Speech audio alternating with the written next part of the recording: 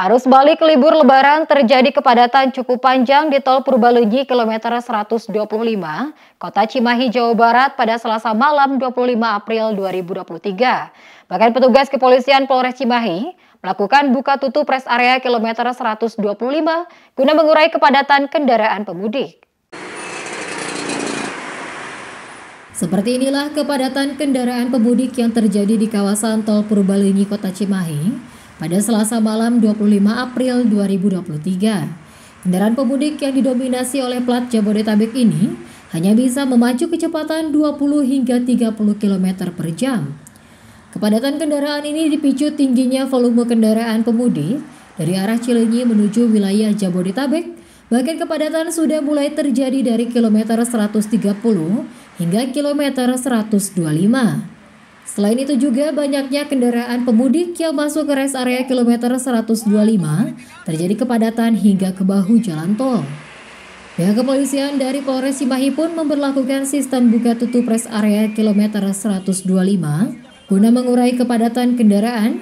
Tak hanya itu, polisi pun melakukan woro-woro kepada pemudik yang memarkirkan kendaraannya untuk segera meninggalkan rest area jika sudah beristirahat selama 30 menit agar bisa bergantian dengan pemudik lainnya. Karena besok kan ada kerja kegiatan ya semuanya. Jadi ya hari ini kita harus pulang. Bentar, iya. Perjalanan dari mana ke mana Pak? Tujuannya dari mana? Tadi Tujuan kami dari Lembang Hmm. mau mengarah pulang ke Tangerang, ke Jakarta. Hmm. Sebagian di Jakarta, ada sebagian di Tangerang. Iya. Arus lalin sendiri Pak gimana Pak selama perjalanan dari Lembang terus sekarang arus balik masuk ke tol Purbalenyi ini? Ya, keadaan kondisi sih macet ya di perjalanan semua, ya kan. Dan dan memang parah lah untuk hari ini ya, karena ini membludak sekali ya, karena hampir semua orang pada pulang semua ya. Baik, rekan-rekan dapat kami sampaikan saat ini kita berada di rest area kilometer 125 Tol Purbalenyi. Ini dari tadi sore terdapat peningkatan arus ya yang mengarah ke Jakarta. Ini kecepatan sekitar 3 sampai 40. Kami di sini menunjukkan sekitar 20 personil.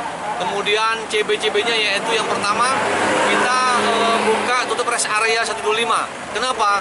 Karena uh, peningkatan arus banyak masyarakat yang ingin uh, singgah ke rest area. Oleh karena itu begitu arus padat dan rest area penuh, kita lakukan CB buka tutup.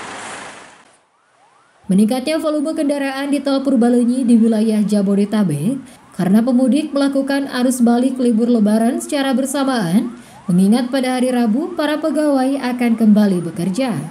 Dari Bandung, Jawa Barat, Tim Liputan melaporkan.